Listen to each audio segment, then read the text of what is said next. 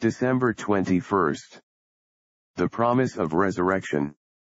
The third day he will raise us up, and we shall live in his sight. Hosea 6:2. For as in Adam all die, even so in Christ shall all be made alive. 1 Corinthians 15:22.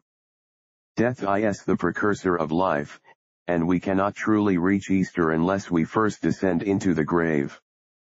Blessed are they who descend thither in hope, their soul shall not be left in the land of shadow, nor will God permit his holy ones to see corruption. God will revive them, and they shall live. On the third day our Lord Jesus rose from the dead, and this is the foundation hope for the world. Come, let us return unto the Lord. There is always resurrection, hope, and joy for those who repent of their sins. True repentance is a humble return to God, and as we draw nigh to Him, He meets us with healing and salvation. The result of His coming is like the dawn, or as the spring rains. Light and joy, fertility, and beauty are the immediate response of the soul to His advent. Do you find yourself in the dark grave of circumstances? Be of good cheer. One of God's angels is on his way to roll away the stone.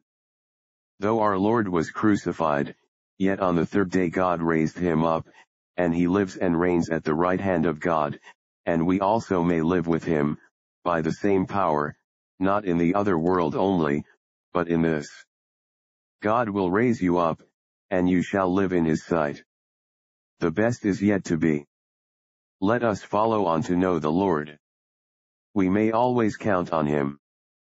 If there is any variation in our relations with him, it is on our side, not on his. Just as surely as we return to him, we shall find him coming to meet and greet and receive us with a glad welcome. When the prodigal was a great way off, his father saw him, and ran to meet him. Is there any doubt about our reception? No, there cannot be. God our Father is always waiting for us. In him there is no variation, neither shadow that is cast by turning. As certainly as we count on the day spring may we count on God.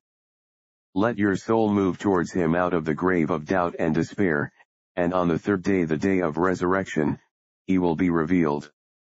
Prayer. May our self-life be crucified with Christ, that his life may be manifest in us, and out of the grave may there spring a more complete resemblance to our risen Savior, so that all may see in us daily evidence of the resurrection of our Lord. Amen.